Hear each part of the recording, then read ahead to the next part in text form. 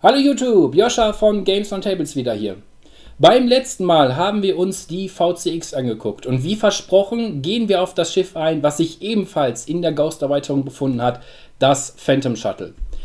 Wie schon im VCX-Video erklärt gewesen, das Phantom Shuttle ist dieses kleine Shuttle hinten an der VCX, welches innerhalb des Spiels seinen Weg gefunden hat und auch rausgeworfen werden kann. Und auf diese Mechanik komme ich jetzt in diesem Video drauf zu sprechen.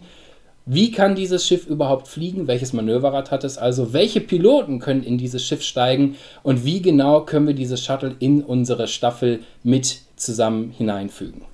Zuallererst das Manöverrad. Dem bekannten Auge dürfte jetzt, äh, dürfte jetzt feststellen, dass die Manöverräder oder das Manöverrad der, des Phantom Jagd Shuttles dem VCX-Rad sehr, sehr ähnlich ist. Wir haben quasi die komplette 1er-Reihe zur Verfügung, die komplette 2er-Reihe zur Verfügung, die komplette 3er-Reihe zur Verfügung, ein 4 gerade raus und den 4er K-Turn. Die Unterschiede sind auch sehr klar zu erkennen. Hier ist der 4er K-Turn in Rot, bei der großen VCX hingegen haben wir den 5er K-Turn in Rot. Auch die kleinen Ecken sind ebenfalls wie bei der VCX rot und man kann schon sehen, dass dieses Schiff halt vom Design der VCX relativ nachempfunden worden ist und natürlich auch passend. Es ist ja irgendwie an dieses Schiff angedockt gewesen. Äh, von den Manövern her, von der Geschwindigkeit relativ gleich schnell. Der Unterschied natürlich sofort zu erkennen. Die VCX als große Shuttle mit der großen Base, das kleine Phantom Shuttle, obwohl es halt die Shuttle-Bezeichnung hat, hat die kleine Base und fliegt sich natürlich somit auch deutlich anders deutlich, ich würde jetzt sagen, angenehmer auf engeren Räumen im Vergleich zu VCX, die natürlich aufgrund ihrer großen Base größere Distanzen nun mal äh, hinterlässt oder überbrückt in dem Fall. Und ähm, ja, man kann einfach sehen, dass dieses Schiff so klein und mobil ist, wie halt die VCX für ihr Manöverrad, was sie nun mal hat, auch sehr mobil ist, nur natürlich das Ganze nochmal im kleineren Raum. Schauen wir uns die Schiffe an. Im Vergleich zu VCX hat dieses Schiff nur namenhafte Piloten. Und hier schauen wir wieder, wie bei der VCX, zurück zur Rebels-Serie und die uns, zumindest die Kenner der Serie, bekannten Charaktere, die wir in der Serie so lieben oder eher weniger. Der, das erste Schiff, der erste Pilot des Schiffes. Es fängt mit einem Pilotenwert von 3 an. Es gibt keine generischen Piloten, wie gerade schon erwähnt. Pilotenwert 3, Sepp Aurelius, das Jagdshuttle. Die Werte ganz klar. Zuallererst der Primärwaffenwert, ein Angriffswert von 3. Dieses Shuttle bringt einen extremen Punch mit. Also aufgrund der kleinen Größe, was natürlich im Vergleich zu VTCX, die daneben steht, sehr klein wird, bringt dieses Schiff extrem viel Punch mit. Und für Rebellen, sage ich jetzt, ist das ein sehr gewohnter Angriffswert mit 3, sehr, sehr hoher Angriffswert, die sich natürlich dann im Vergleich zu den schnellen Interceptoren, den A-Wings oder anderen Supportschiffen wie vielleicht der HWK deutlich unterscheiden und ähm, dadurch auch eine deutliche Bedrohung auf dem Feld sein können. Ein Ausweichenwert von 2, ein Wendigkeitswert von 2, ist hier ein gutes Mittelfeld. Das kennen wir auch schon von den anderen Schiffen größtenteils, beziehungsweise natürlich auch wieder im Vergleich zu den Interceptoren oder B-Wings ein gutes Mittelding, sodass dieses Schiff durchaus auch ein bisschen ausweichen kann, aber natürlich durch den Primärwaffenangriffswert erst einmal brilliert. Zwei Hülle und zwei Schilde insgesamt ergeben vier Lebenspunkte. Das ist für dieses Schiff der Größe vollkommen in Ordnung. Es, man sieht auf jeden Fall sehr schnell schon, es kann schnell abgeschossen werden, wenn also entsprechend Fokusfeuer reinkommt. Wendigkeitswert von zwei ist nur so ein Mittelding in dem Fall. Und wenn wir dann natürlich nur vier Lebenspunkte insgesamt haben, muss man natürlich überlegen, okay, wie wendig kann dieses Schiff sein, wie kann ich es bewegen, damit es möglichst lange, äh, möglichst lange überlebt und seinen Primärwaffenangriffswert äh, ins Ziel bringen kann. Und hier, Sepp Aurelius, müssen wir natürlich auch dann direkt gucken, hat eine Sonderfähigkeit, die natürlich ein bisschen auf den Wendigkeitswert mit eingeht. Sobald du dich verteidigst, darfst du einen Crit vor einem Hit negieren. Wie wir ja wissen, wenn wir Schüssen ausweichen, bedeutet das, wenn wir ausweichen, erst einmal normale Hits mit den Ausweichsymbolen negieren. Danach kommen die Crits. In dem Fall, solange wir noch Schilder haben, ist es einfach ein Schildverlust. Haben wir schon Hülle hingegen, kommt der kritische Treffer direkt äh, durch. Bei einem Hüllenwert von 2 besteht dann natürlich die Gefahr, dass dann der Volltreffer kommt, das Schiff sofort explodiert. Ein kritischer Treffer im Sinne von schwacher Explosion, wo ein Würfel geworfen wird und eine neue Explosion kommen kann und das Schiff wieder zerstört wird. Und hier wird das Ganze quasi umgedreht. Wir entfernen erst die Crits, was definitiv ein schöner Nebeneffekt ist. Äh, und danach äh, kommen erst die Hits durch, sodass natürlich unser Hüllenwert 2 ist überhaupt nicht viel, keine Frage. Aber dann kann nicht dieser eine Lucky Crit kommen, potenziell bei zwei Hülle, der das Schiff sofort in die Luft jagt, sondern vielleicht doch erst nur ein Hüllenpunkt Schaden kommt und das Schiff möglicherweise noch auf dem Feld bleibt. Gucken wir kurz auf die Aktionsleiste des Schiffs. Das bleibt dann natürlich bei allen anderen Variationen genau gleich. Da brauchen wir dann auch nicht weiter darüber diskutieren. Wir haben die uns wohlbekannte Fokusaktion. Ganz klar, hat fast jedes Schiff im Spiel, auch bei diesem Schiff darf es nicht fehlen. Es hat die Fassrollenaktion.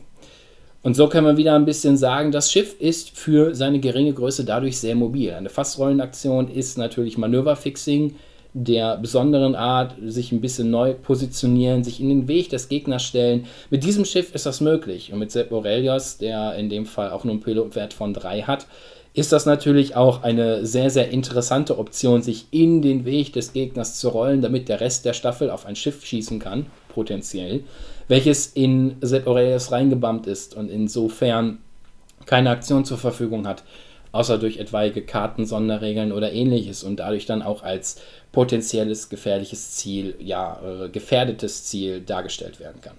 Die letzte Aktion, die dieses Schiff hat, ist Ausweichen. Auch wieder hier quasi so ein bisschen der Wendigkeit und vielleicht auch der Größe dieses Schiffes geschuldet, ähm, ist Ausweichen eine sehr, sehr interessante Aktion durchaus äh, um dann den Zweierwendigkeitswert noch ein bisschen zu buffen, in, in gewisser Weise buffen, würde ich jetzt mal sagen, noch ein bisschen mehr Überlebensfähigkeit mit reinbringen, sodass dieses Schiff dann halt in Zukunft noch ein bisschen weiter schießen kann. Wichtig ist in dem Fall, dieses Schiff hat keine Zielerfassung, wie es vielleicht sonst bei allen anderen Rebellenschiffen bisher der Fall gewesen ist. Mir fällt jetzt zumindest keinen anderen, keine andere Ausnahme gerade ein. Aber dieses Schiff hat keine Zielerfassung, was für Rebellen eher atypisch ist. Ähm, das muss uns aber nicht großartig weiter beschäftigen, weil die Aktionen, die dieses Schiff zur Verfügung haben, definitiv gut sind für das Schiff, was es eigentlich kann.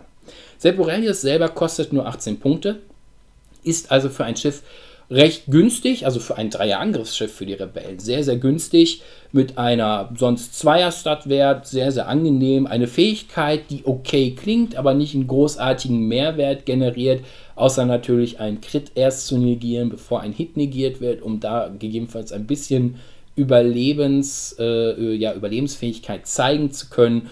18 Punkte, sehr, sehr okay. Von der Aufwertungsleiste her, auch wieder bei allen anderen Schiffen gleich, haben wir, und das ist dann die Besonderheit noch, einen Turret-Upgrade, also ein Geschützturm-Upgrade und ein Crew-Upgrade. Ja, jeder, der die Serie kennt, ist es ein Phantom Shuttle, da fliegt meistens nicht nur einer, sondern meistens auch noch jemand mit. Dieses Phantom Shuttle kann natürlich auch Passagiere mitnehmen und Zusatz-Crew-Effekte mitnehmen. Und es hat ein Geschütz, wie man ganz schlecht an dem Modell erkennen kann, aber es hat ein Geschütz, sodass wir nicht nur auf unser Dreier Primärwaffenangriffswert angewiesen sind, sondern auch auf einen Geschützwert angewiesen sein können oder zusätzlich noch dazu haben können, der äh, wirklich schöne Effekte haben kann, auch wenn man den Gegner gerade nicht sieht. Sepp Aurelius also für Pilotenwert 3, 18 Punkte, okay. Pilotenwert 4, Ezra Bridger. Den, den wir schon als Crewkarte in Anführungsstrichen kennengelernt haben, hat dann jetzt natürlich hier den Weg auch als Pilot gefunden. Pilotenwert 4, Stats genau gleich, Aktion genau gleich, kostet 20 Punkte, hat die Möglichkeit auf einen Elite-Pilot-Slot, also der erste Pilot mit Elite-Pilot-Slot, also wieder eine große Auswahl an Variationsmöglichkeiten, dieses Schiff weiter auszurüsten. Und folgender Fähigkeit, falls du Stressmarke hast, darfst du, sobald du dich verteidigst, bis zu zwei deiner Augen in ein Ausweichen ändern. Also ähnlich wie Sepp Aurelius, nur in dem Fall mit Mehrwert generieren, äh, die, dass die Überlebensfähigkeit gesteigert wird. Das heißt, solange Ezra, zumindest solange er im Shuttle sitzt, und einen Stressmarker hat, darf er, sobald er verteidigt, zwei Augen in, äh, in Ausweichen ändern. Das heißt, wir können theoretisch, wenn wir die Möglichkeit hatten, vorher einen Fokus oder äh, gehabt zu haben durch vielleicht Push the Limit, oder ähnliches als äh, Möglichkeit, die wir dann offensiv nutzen können für unseren Dreier Primärwaffenangriffswert oder einer Turret, die wir ausgerüstet haben und dann das Stress liegen haben, können wir in unserer Verteidigung wenigstens unsere Augen drehen.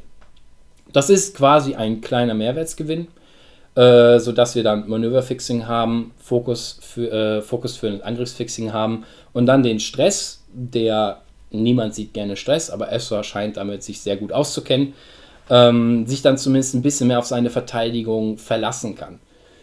Hier muss man natürlich wieder sehen, der Zweier-Wendigkeitswert ist so ein Mittelding. Das heißt, es besteht die Möglichkeit, zwei Augen hinzulegen. Es besteht aber allerdings auch die Möglichkeit, dass da nichts liegt und dann natürlich kein Mehrwertgewinn äh, entstehen kann. Aber für 20 Punkte mit einem Pilotenwert von 4 ist Ezra Bridger auch eine sehr, sehr interessante Wahl und wieder einmal ein sehr günstiges Dreier-Angriffsschiff mit einem okay Mittelwert-Pilot, also okay Piloten-Mittelwert äh, mit dem man durchaus arbeiten kann und äh, ja, von, von der Zähigkeit des Schiffes ja, der Effekt kann durchaus mal ein bisschen Zusatzeffekt generieren. Jetzt kommen wir zu den interessanteren aus unserer Sicht, aus meiner Sicht. Pilotenwert 5. Sabine Wren.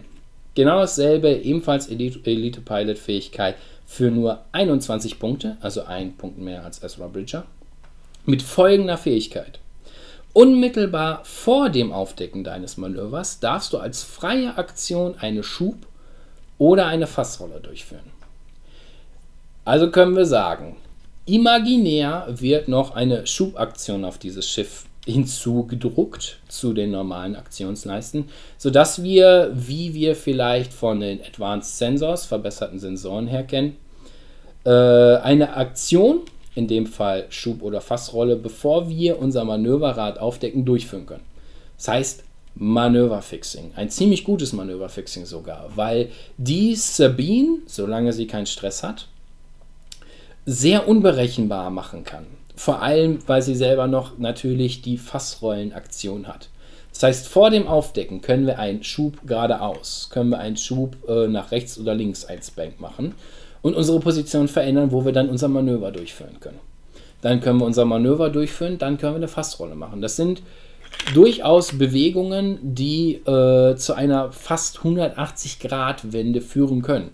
Ein Boost nach rechts, dann ein Eckenfliegen und eine Fassrolle ist vielleicht nicht eine ganz 180-Grad-Drehung, aber wir haben uns definitiv sehr, sehr weit gedreht und haben eine komplett neue Position eingenommen, mit der wir dann in zukünftigen Runden weiter planen können. Auf die Spitze treiben kann man das natürlich später auch. Wir haben, die Fee, wir haben ja Ausrüstungsslots. Da kommen wir aber gleich in Sabine im genauer nochmal zu. Aber man kann schon sehen, Sabine ist dafür gedacht, ein bisschen unberechenbar zu sein, schnell zu sein, potenziell sehr schnell zu sein und ähm, auf einmal Position einzunehmen, womit der Gegner nicht unbedingt gerechnet hat oder die man beim Gegner gewisserweise ja vorhergesehen hat. Dazu aber gleich die letzte Pilotin in dem Fall. Pilotenwert 7, Hera Syndulla. Genau derselbe Pilotenwert wie auch als Pilotin der VCX. Sogar genau dieselbe Fähigkeit wie die Pilotin aus VCX, die besagt, sobald du ein grünes oder rotes Manöver aufdeckst, und das sind nun mal nicht wenige, muss man dazu sagen, darfst du das Rad auf ein anderes Manöver mit gleicher Geschwindigkeit drehen. Wie bei der VCX haben wir die 1er-Ecken, die 3er-Ecken und den K-Turn. Hier in dem Fall natürlich im kleineren Maßstab, aber auch hier haben wir dann diese ja, vier anderen Manöver zur Verfügung, die vielleicht nicht zu dem passen, was Hera gerade fliegt. Von den Grünen her sind wir etwas eingeschränkt, der entweder 1 geradeaus, 1er Bank oder 2 geradeaus. Da natürlich nicht mehr so viel, aber der Turn ist da schon sehr, sehr interessant. Und wenn es ein K-Turn werden soll. Pilotenwert 7 ist also von den hohen Pilotenwert eher die, die unterste Schiene.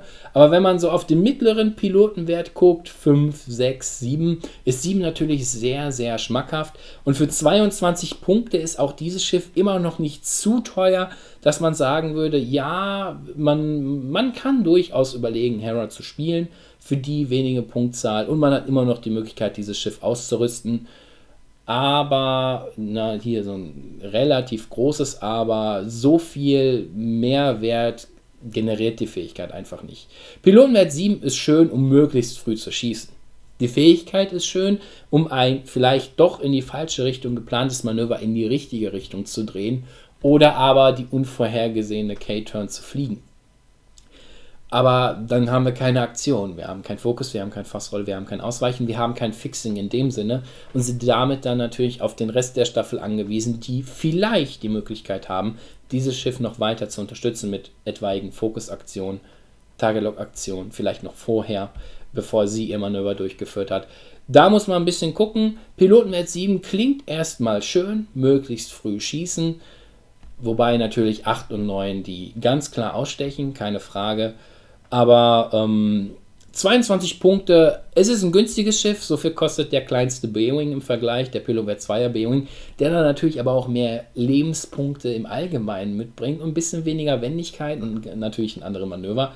Aber da überlegt man sich tatsächlich schon, statt ein Pilotenwert 7, 22 Punkte Schiff mit einem Dreier Primärwaffenangriffswert und eher durchschnittlichen Wendigkeit bis Lebenspunktwerten dann vielleicht ein zäheres Schiff zu nehmen. Nichtsdestotrotz Elite-Pilot-Möglichkeit, äh, Torrent-Möglichkeit und Crew-Möglichkeit erlauben auch hier wieder interessante Kombinationen, die man vielleicht irgendwann mal noch hinzufügen kann.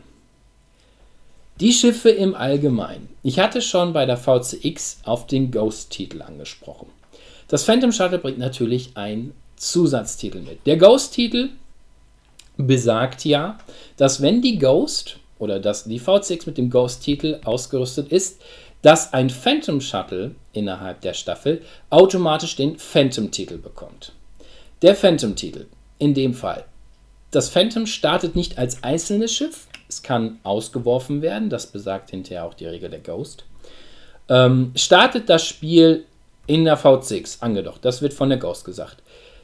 Das Phantom Shuttle selber hat die Möglichkeit oder schaltet für die VCX zum einen frei. Der Frontfeuerwinkel, den wir bereits kennen, und der Heckfeuerwinkel wird freigeschaltet für die Primärwaffe. Der ist natürlich als Torpedo-Bereich schon freigeschaltet worden. Jetzt aber, solange der, die Phantom angedockt ist, haben wir den Heckfeuerwinkel freigeschaltet. Zusätzlich dazu bekommen wir noch, nachdem die Schussphase quasi in die Endphase geht, also am Ende der Schussphase, erhalten wir die Möglichkeit, einen ausgerüsteten Geschützturm der VCX nochmal abzufeuern. Solange natürlich das Phantom Shuttle angedockt ist. Somit haben wir mit der VCX halt die Möglichkeit, mit der Primärwaffe zu schießen und mit der Sekundärwaffe zu schießen. Natürlich am Ende der Phase, solange die VCX noch steht und das Phantom Shuttle noch angedockt ist, muss man natürlich beachten. Wenn das Schiff nicht mehr steht, kann es nicht mehr schießen, keine Frage. Aber so haben wir, solange dieses Schiff angedockt ist, zwei Angriffe mit dem Schiff oder halt zweimal einen Sekundärangriff mit dem Schiff. Und macht dann die VCX im Allgemeinen schon sehr, sehr stark. Jetzt aber der Punkt. Wie schon bereits gesagt, VCX, die Ghost wird mit dem Phantom-Titel ausgerüstet. Jetzt haben wir vier verschiedene Phantom-Arten, die dann auch für diese Punkte gezahlt werden. Mindestens 18 für Sepp Aurelius, maximal 22 für Hera Syndulla, solange Hera Syndulla die VCX nicht selber fliegt. Das heißt, die Punkte, die wir dann mit dem Titel für das Jagdshuttle ausgeben, werden in Anführungsstrichen zusätzlich noch für die VCX ausgegeben. Das heißt, die VCX, die in der kleinsten Variante mit dem Rebel von Lothal 35 Punkte kostet, den Ghost-Titel besitzt für 0 Punkte und für 0 Punkte dann das Phantom Shuttle, nehmen wir jetzt als Beispiel Sepp Aurelius für 18 Punkte, äh, beginnt das Spiel in der VCX. Das heißt, wir haben, ich sage jetzt mal in Anführungsstrichen, anderthalb Schiffe auf dem Feld, wovon die Hälfte des Einschiffes nicht wirklich anwesend ist, sondern nur regeltechnisch anwesend ist. Und somit sind wir dann schon bei 53 Punkten, also ein sehr, sehr guter Batzen an Punkte, die in die VCX gesteckt wird, bevor überhaupt das Jagdshuttle einen weiteren Effekt reinbringt, außer schon den wirklich guten Effekt, den Heckfeuerwinkel mit der Primärwaffe freizuschalten, und den extra Sekundärwaffenangriffswert zu haben. So sind wir bei 83 Punkte mit quasi anderthalb Schiffen. Hingegen dazu aber haben wir die Möglichkeit, diese Shuttle auch auszuwerfen. Es gibt zwei Möglichkeiten des Auswerfens. Möglichkeit 1, das ist in Anführungsstrichen die sichere Auswahl, ist nach dem Manöver der VCX werfen wir das Jagdshuttle ab. Das machen wir wie folgt. Wir wählen ein Manöver des Jagdshuttles. Das ist egal, welchen Pilotenwert dieses Jagdshuttle hat. Es ist wichtig, wann die VCX geflogen ist. Nach dem Pilotenwert gehen wir Dann werfen wir das Jagdshuttle aus und äh, machen das dann mit der Wahl eines Manövers, äh, welches wir gerade bevorzugen, welches wir gerade interessant finden. Von 1 geradeaus bis 4er K-Turn ist alles möglich, solange es hinten startet. Das Modell ist ja schon wunderbar hinten angedockt, also startet dieses Schiff auch von hinten. Es kann nicht von vorne starten. Es gibt bei Scum eine Variante, da gibt es ein Schiff, es kann sowohl vorne als auch hinten starten. Hier haben wir nur die Möglichkeit, hinten zu starten. Es gibt hier eine Regel, dass besagt wird, wir müssen dieses Schiff mit dem Manöver, was wir ausgewählt haben, platzieren können. Solange wir es nicht platzieren können, wird es so lange verkürzt, bis es platziert werden kann. Sollte der Fall eintreten, dass hinter der V6 so viel voll steht, aber wir sagen, wir möchten das Phantom Shuttle auswerfen, kriegen es aber nicht hin, gilt das Phantom Shuttle als zerstört. Das heißt, es findet keinen Platz, prallt gegen ein Schiff XY, das Schiff XY bleibt am Leben, das Phantom Shuttle kommt nicht raus. Und damit verlieren wir dann auch die Zusatzeffekte des Ghost-Titels, des Phantom-Titels und äh, das Schiff an sich und die ganzen Punkte, die wir dafür quasi investiert haben, verpuffen im Nichts. Aber die Möglichkeit zu haben, nach dem Manöver der VCX noch das Phantom Shuttle auszuwerfen, ist mehr oder weniger auch so ein bisschen ein Mindgame. Der Gegner überlegt schon manchmal, okay, wann, wann wirft er das Shuttle jetzt aus? Hm, die VCX ist noch ziemlich stabil. Vielleicht hält er den noch zurück, damit er nach hinten schießen kann. Vielleicht aber auch nicht. Das sind alles Gedankenspiele, die man sich selber als Rebellenspieler der VCX und des Phantom Shuttle macht wie auch der Gegner, wenn er denn dran denkt und man ihn auch netterweise darauf hinweist, dass man jederzeit dieses Shuttle auswerfen kann. Wie lange möchte man die VCX quasi boosten, bis das Phantom Shuttle mit voller Gesundheit von 4 rauskommt und halt mit seinem Primärwaffenangriffswert von 3 immer noch Stress machen kann. Das ist ein sehr, sehr interessantes Mindgame und macht diese Kombination an diesen beiden Schiffen auch wirklich sehr, sehr interessant und sehr, sehr stark.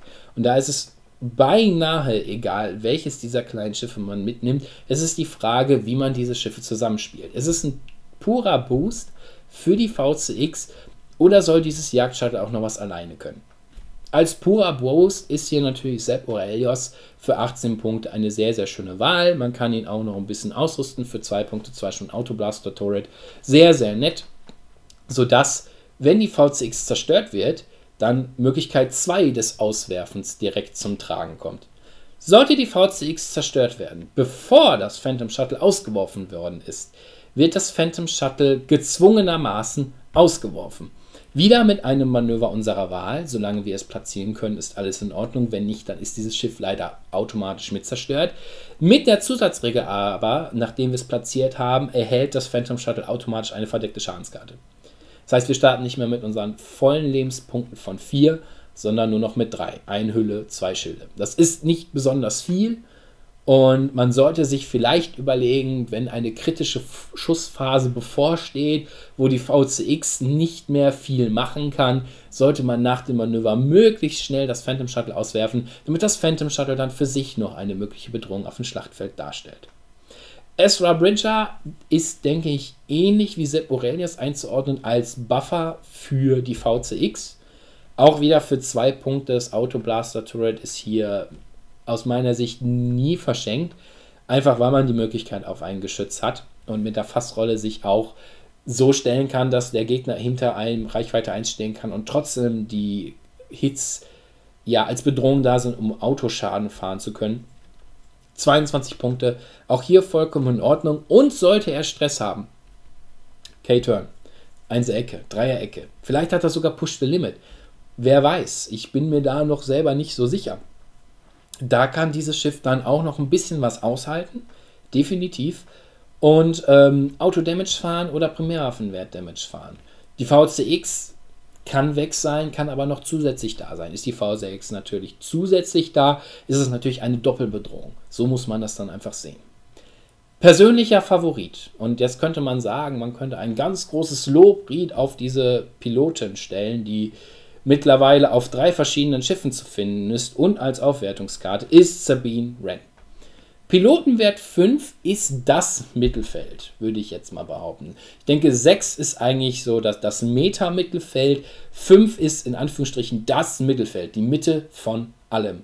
Das heißt, ein Großteil der gegnerischen Elite-Staffeln oder Meta-Mittelstaffeln fliegen nach ihr, aber die kleineren kann man ausmanövrieren.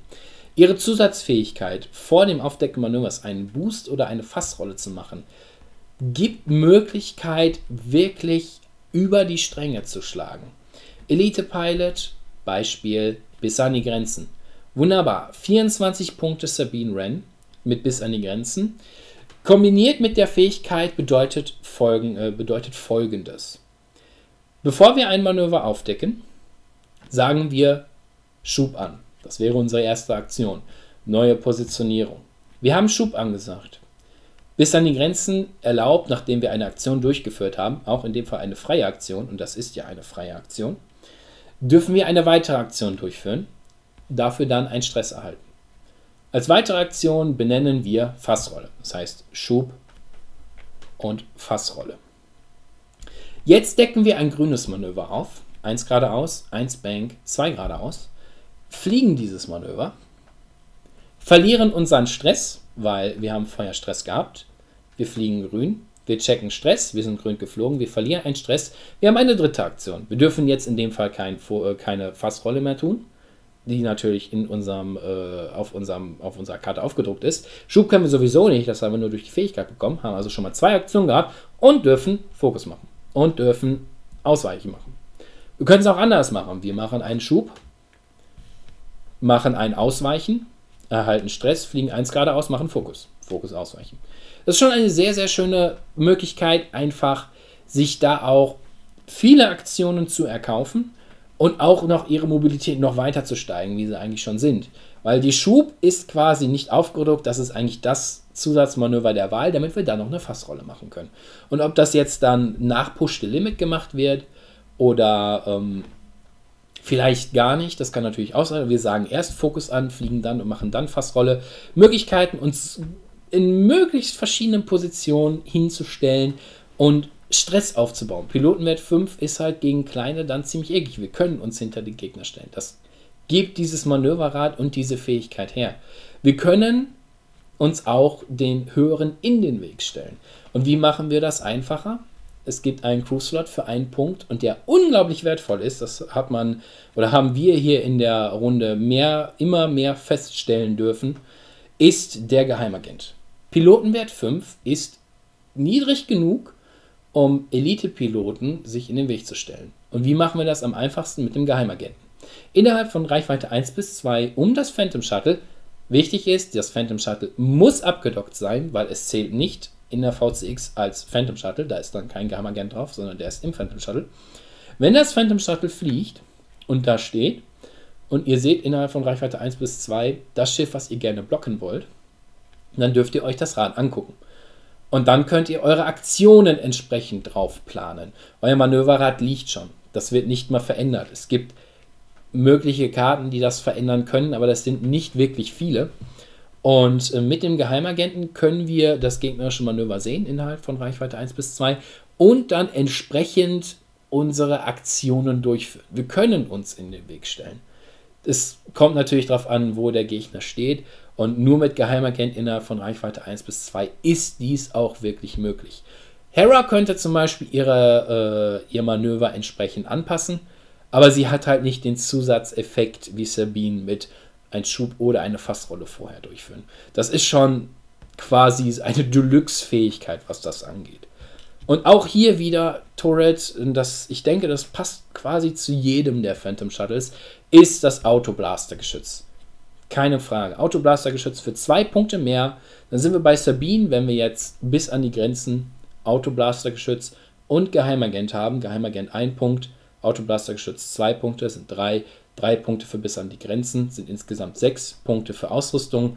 Sabine kostet 27 Punkte. Jetzt haben wir dann noch die VCX dabei, die mit dem Ghost-Titel kommt. Das heißt, das Phantom Shuttle kriegt automatisch den Phantom-Titel. Und wir haben ein 27-Punkte-Schiff welches geschützt in einer VCX der Wahl starten kann. Da darf jeder fliegen, wie er möchte. Und jederzeit die Möglichkeit haben, dieses Schiff auszuwerfen, um dann Sabine selber als Pilotin auf dem Feld zu haben, die mit 27 Punkten die Möglichkeit hat, gegnerische Schiffe vorauszuplanen, äh, beziehungsweise von aktionsmäßig vorauszuplanen ähm, dann angehen kann. Oder halt solange die VCX am Leben ist, als Zusatzeffekt für die VCX selber gilt. Wie man also sehen kann, ist das Zusammenspiel zwischen VCX und Phantom Star äh, Shuttle sehr, sehr stark. Und das ist wahrscheinlich auch Ziel dieser Erweiterung gewesen.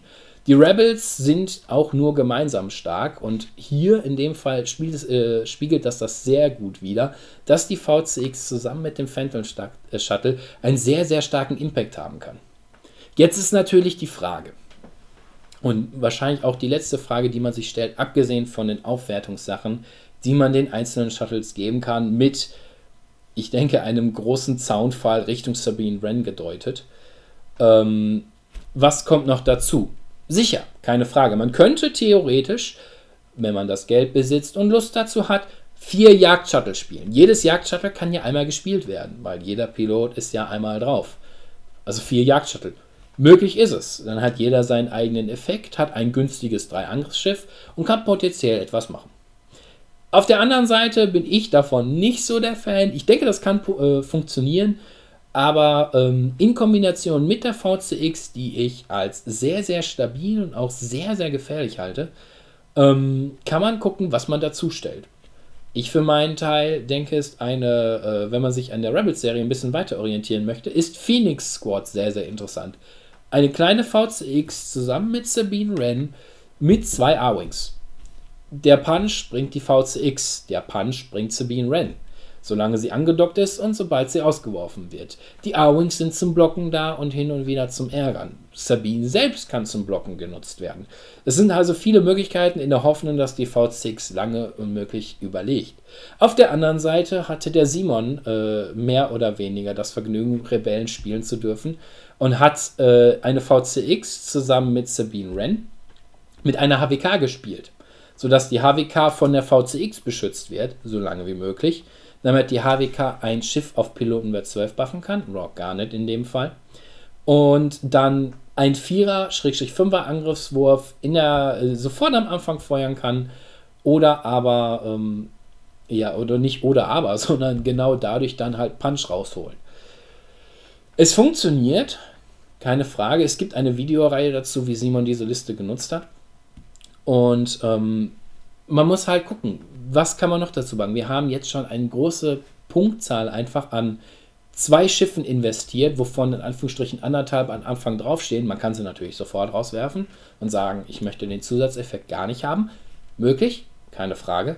Und ähm, den Gegner einfach, naja, schneller im Aufstellen fertig sein oder ähnliches, was man gerade damit vorgehabt hat. Und äh, sofort halt das Zusatzschiff, die Zusatzfeuerkraft mit reinbringen und äh, dann Sabine als Flanker zu spielen, Sepp oder Esra als noch ein kleines, einfach günstiges Dreier-Angriffsschiff mit dazu, Era, solange sie nicht selber in der VCX äh, steht, als Flanker zu probieren. Es ist halt zumindest nicht mehr sehr viel Auswahl, was wir noch dazu spielen können, weil eine, alleine, zumindest wenn wir die Ausrüstung von Sabine nehmen, die wir äh, gerade besprochen haben, 27 Punkte in Sabine reingehen und dann mindestens 35 mit der kleinsten VCX plus wahrscheinlich Feuerkontrollsystem, Harrison-Dollar als Crew und vielleicht auch noch ein Autoblaster-Geschütz. Wir auch wieder bei 40 sind, also wir schon bei 67 Punkten, vielleicht auch schon 70 Punkten, wenn man vielleicht einen Gunner spielt oder noch mehr.